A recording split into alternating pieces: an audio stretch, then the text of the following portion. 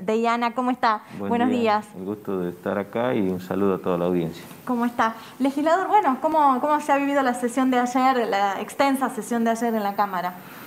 Bueno, ha sido una sesión bastante larga, eh, bastante, con bastante expectativa, por supuesto. Eh, creemos que, bueno, ahora eh, viene una etapa donde va a haber que analizar que, las respuestas que ha dado el ministro para que nosotros podamos hacer una evaluación más completa. Ayer la verdad que nos perdimos con la, con la cantidad de, de, situaciones y de, y de datos que se habían dado, eran 43 preguntas, fueron casi 6 horas que habló el ministro y dejó mucha documentación, entonces lo que, lo que, lo que queríamos, eh, por eso pedimos que en la próxima sesión recién se trate este informe, eh, la evaluación completa, porque la verdad que analizar la cantidad de, de, de, respuesta que hizo el ministro y la documentación que aportó mm. requiere un, un, trabajo mucho más intenso. En ese sentido, digamos, el legislador este, Javier Moroff, la legisladora Adriana Nájar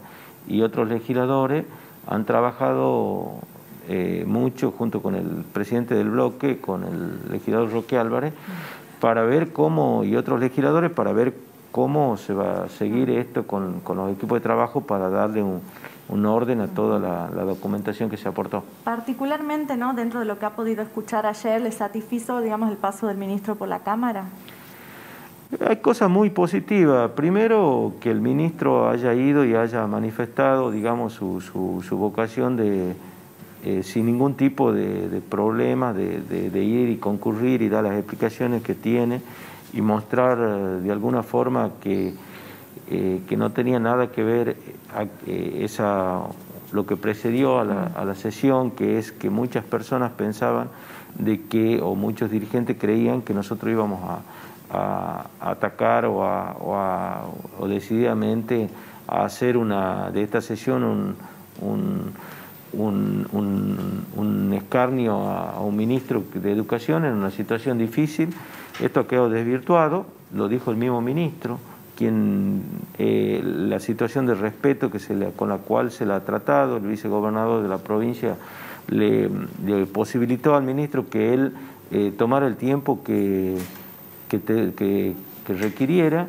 Y la verdad que el, el, ámbito en el que se produjo todo esto y las aclaraciones y todo lo que se dijo fue en ese sentido, de que es un deber constitucional eh, concurrir a este cuerpo, el cuerpo estuvo a la altura de la circunstancia y bueno, ahora lo que queda es hacer la evaluación, digamos, de todo esto, ¿no? Eh, ahora, ¿cómo, ¿cómo, ha visto? Bueno, hubo un pequeño ahí enfrentamiento, ¿no? Discusión, entredicho entre el legislador Morov, los legisladores Mancilla y Vargas Ainace. Sí, la verdad que esa, la, ese muchas veces fue, esa fue la, única situación eh, realmente desafortunada que, hemos, asistido. Yo la verdad que me solidarizo con el, con el legislador Javier Moró, porque él estaba requiriendo algunas preguntas y bueno, lamentablemente tuvo de, parte de, otros legisladores una respuesta este, muy fuerte, muy, hasta con un tono bastante agresivo.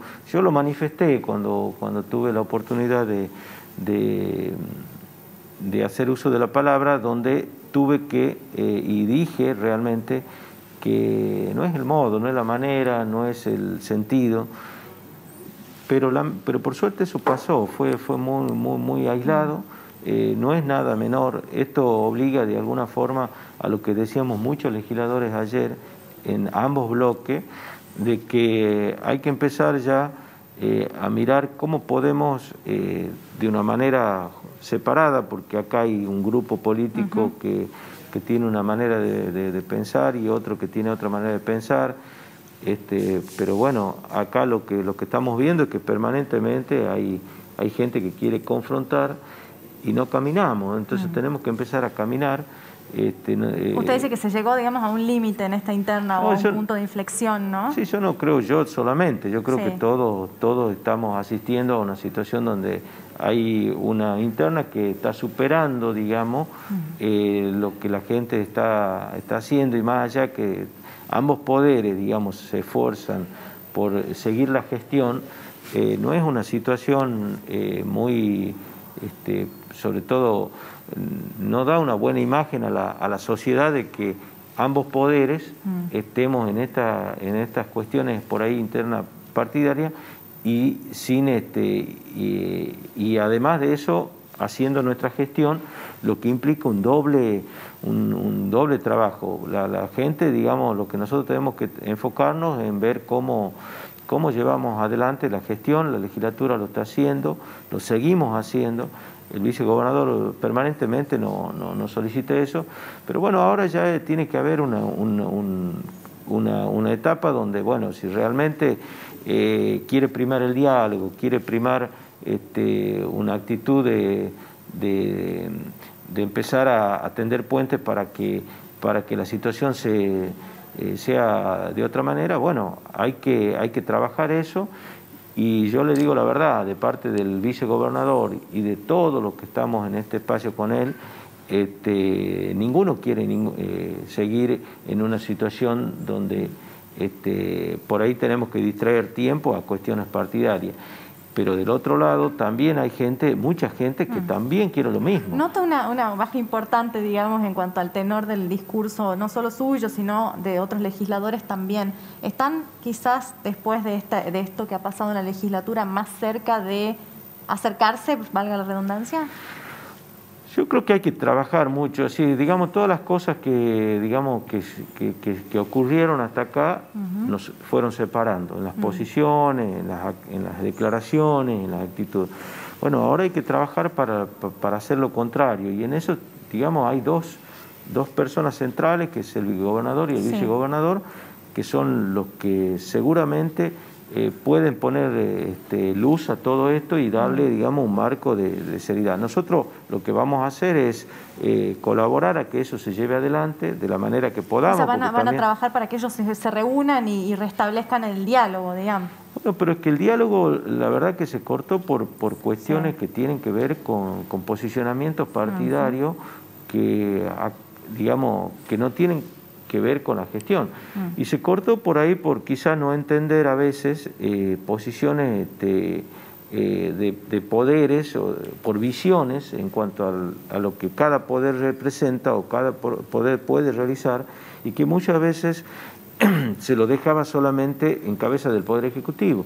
Eh, y bueno, eso, esa, esa visión distinta, esa, esa manera de mirar la gestión, y, lo partidario de una manera diferente, bueno, es lo que generó todo esto. Ahora, eh, sí creo que, la provincia merece y, también eh, que no, no, aparezcan todas estas mm. cuestiones que están apareciendo, donde vemos por campañas difamatorias de todo tipo.